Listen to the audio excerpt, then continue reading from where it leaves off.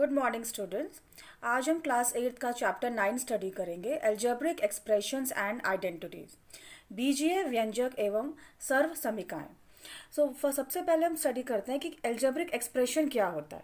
So an algebraic expression it is a combination of constants and variables. Constants और variables को जब हम connect करते हैं by the means of four fundamental operation plus minus multiply and divide तो हमारा algebraic expression form होता है For example we can see x plus इसमें आप ये देखिए वेरिएबल है हमारा x एंड थ्री हमारा कांस्टेंट है। इन दोनों को हमने कनेक्ट किया है एडिशन साइन से। तो ये x प्लस थ्री हमारा एल्जेब्रिक एक्सप्रेशन है। और एग्जांपल्स हैं two y minus five three x square four x y plus seven ये सब एग्जाम्पल्स हैं एल्जेब्रिक एक्सप्रेशंस के। सो so, हिंदी में अगर हम समझाएँ तो व्यंजकों का निर्माण चरों एवं अचरों की सहायता से होता है। चर मीन्स वेरिएबल्स एंड अचर मीन्स कांस्टेंट तो जब हम वेरिएबल्स और कांस्टेंट्स को कनेक्ट करते हैं, by the help of these four fundamental operations like plus, minus multiply, divide तो हमारा algebraic expression form होता है। Now next इसमें हमारा जो कंसेप्ट है, वो है टर्म्स फैक्टर्स एंड कोफिशियंट का। टर्म्स का मतलब पद फैक्टर्स गुणनखंड एंड कोफिशियंट गुणांक। इसको हम एक एग्ज़ाम्पल से एक्सप्लेन करते हैं। एग्ज़ाम्पल है फोर एक्स प्लस फाइव इसमें हमारी दो टर्म्स हैं। फोर एक्स एंड फाइव दो पद हैं इसमें हमारे। तो टर्म्स क्या हुई? Terms means parts of an algebraic expression separated by the symbols plus और माइनस कि अगर हम प्लस और माइनस से किन्हीं दो पार्ट्स को सेपरेट करते हैं तो वो दोनों पार्ट्स जो हैं, वो उसके टर्म्स कहलाएँगे। तो किसी अल्जेब्रिक एक्सप्रेशन में एक ही टर्म होती है, किसी में दो भी हो सकती है, तीन भी हो सकती है, तीन से ज़्यादा भी हो सकती हैं।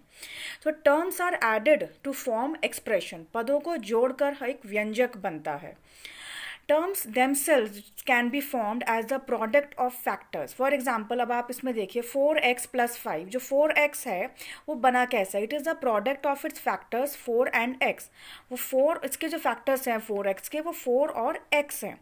और जो टर्म फाइव है, वो जस्ट उसका फैक्टर फाइव ही है. The term 5 is made up of just one factor. That is 5 तो पद स्वयं भी गुणनखंडों के गुणनफल के रूप में बनाए जा सकते हैं। फॉर एग्ज़ाम्पल जैसे अभी पद फोर एक्स जो है, उसके गुणनखंड है फोर और एक्स और पद फाइव का एक ही गुणनखंड है, वो फाइव है। नाउ नेक्स्ट हम एक एग्ज़ाम्पल और लेते हैं। Seven x y minus five x ये हमारा एक्सप्रेशन है, व्यंजक है seven x y minus five x इसमें टू टर्म्स हैं seven x y and minus five x दो पद है इसमें seven x y and minus five x अब हम इसके कोफिशियंट देखते हैं। कोफिशियंट क्या होता है? गुणांक। Coefficient in the term seven x y is seven जो उसका जो न्यूमेरिकल पार्ट होता है जिस टर्म में जो वेरिएबल एक्स और वाई है, उसका जो न्यूमेरिकल पार्ट है दैट इज़ सेवन इस सेवन को हम कोफिशियंट बोलेंगे, यानी गुणांक बोलेंगे। And the coefficient in the term minus five x minus five x में जो इसका न्यूमेरिकल पार्ट है, वो है माइनस फाइव तो माइनस फाइव जो है, इसका कोफिशियंट हुआ, यानी गुणांक हुआ। अब टर्म्स के बेसिस पे हम एक्सप्रेशन को मोनोमियल बायनोमियल ट्राइनोमियल पॉलिनोमियल अब मोनोमियल एक पदी that means expression that contains only one term इसमें सिर्फ़ एक टर्म होती है। For example four x square इसको हम मोनोमियल यानी एक पदी बोलेंगे। बायनोमियल जिसमें दो टर्म्स होती हैं, जिसमें दो पद होते हैं। For example four L plus five M द्विपद। Binomial जिसमें दो टर्म्स हैं। एक टर्म हमारी इसमें फोर एल है सेकेंड टर्म हमारी फाइव एम है। ट्राइनोमियल जैसे नाम से है tri tri means three so त्रिपद। त्रिपद मीन्स जिसमें थ्री टर्म्स होती है। For example A plus B plus C तो ये हो गया ट्राइनोमियल और तीन से ज़्यादा टर्म अगर होती है तो हम उसको बोलते हैं पॉलिनोमियल।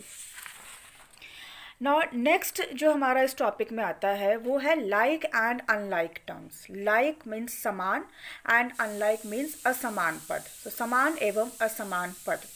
अब हम ये एक एग्जांपल लेते हैं, इसमें बहुत सारी टर्म्स दे रखी हैं seven x fourteen x minus thirteen x five x square seven y seven x y minus nine y square minus nine x square minus five y x अब आपने इन सब में से लाइक like टर्म्स पहले अलग करनी है, समान पद। लाइक like टर्म्स का मतलब है, जिनका वेरिएबल पार्ट सेम होता है अलॉन्ग विद द पावर अब इसमें लाइक टर्म्स देखिए seven x fourteen x minus thirteen x. इनका जो वेरिएबल पार्ट है एक्स है सब में।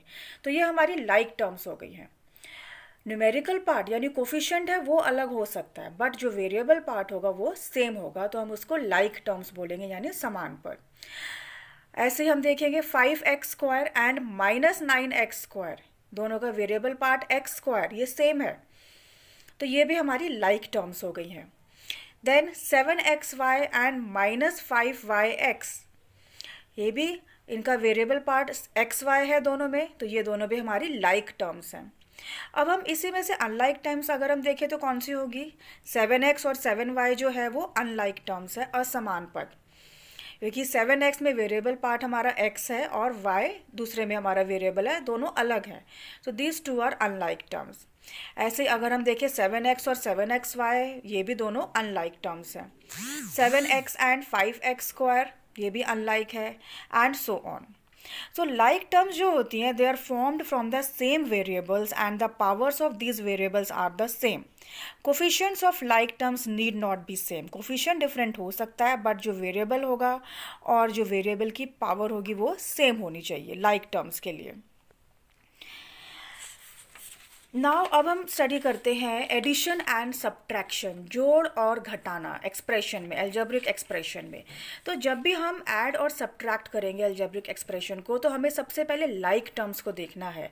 और हम लाइक like टर्म्स को ही ऐड और सब्ट्रैक्ट करेंगे और उसके बाद जो हमारी अनलाइक टर्म्स बचेंगे, फिर हम उसको हैंडल करते हैं।